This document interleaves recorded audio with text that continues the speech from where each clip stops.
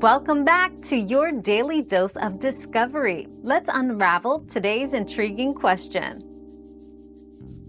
A Honeywell analog thermostat works by using a bimetallic strip combined with a mercury switch to regulate your home's temperature. As the room temperature changes, the bimetallic strip expands or contracts, causing the mercury switch to tilt. This tilting opens or closes the electrical circuit connected to your heating or cooling system, turning it on or off to maintain the desired temperature setting. Simple yet effective, this mechanism provides a cost-effective way to control indoor climate without the need for digital technology.